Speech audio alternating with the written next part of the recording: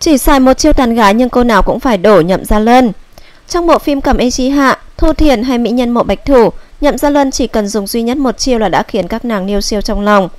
Có thể nói, 2020 là một năm khá thành công của Nhậm Gia Luân khi chỉ tính trong 6 tháng anh xuất hiện liên tiếp ở 3 bộ phim truyền hình với vai trò là nam chính.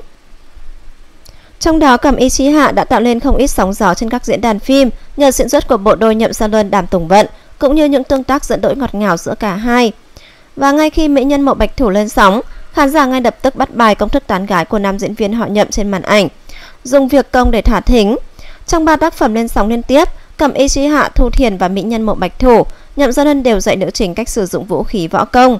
Đương nhiên với cự ly gần sát như vậy, có cô nương nào lại không đổ rạp trước vẻ đẹp ngầu lòi của anh chàng này. Trong bộ phim Mỹ nhân mộ bạch thủ, Nhậm Sơn Ân đảm nhận cùng lúc hai nhân vật, một là Lâm Kính có tính tình khôi hài ngang ngược, không câu lệ tiểu tiết, một là Lam Nhạc, con người trầm ổn, cơ trí, võ công vô cùng cao cường, kiếm pháp nhanh như chớp. Bên ngoài Lâm Kính tỏ vẻ cả lơ phất lơ, nhưng trong lòng luôn có mưu tính, biết mình muốn gì, đoạt lấy cái gì. Kết hợp với nam diễn viên họ Nhậm trong tác phẩm này là mưu nữ lang chuyên tuệ văn.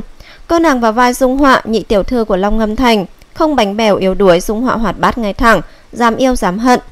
Nàng thiện lương trong sáng nhưng không dễ bị bắt nạt, giỏi trốn chạy lúc nguy cấp. Vì muốn giúp cha Dung Họa hành tẩu giang hồ, đi tìm Xích Hoa Châu, không ngờ thế sự hiểm ác, mấy lần gặp họa nàng đều được La Lam Nhạc giúp đỡ.